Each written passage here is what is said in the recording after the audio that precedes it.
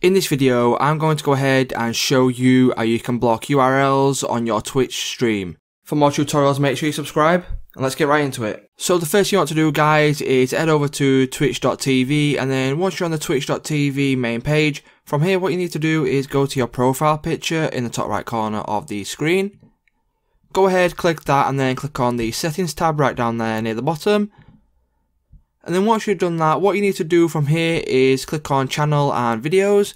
And then once you've clicked on channel and videos, it will bring up this section here.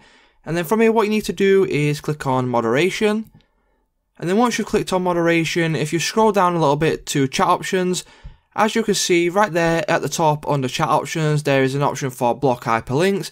So your channel's chat will automatically delete posted URLs except from ones posted by you, moderators, admins and VIPs. So if you want to go ahead and enable this, all you need to do is check this box here and then from now on any link that is posted in your chat will be removed. So it's just that simple guys. If this video did help you out, leave a like, comment, subscribe to the channel and I'll see you in the next one.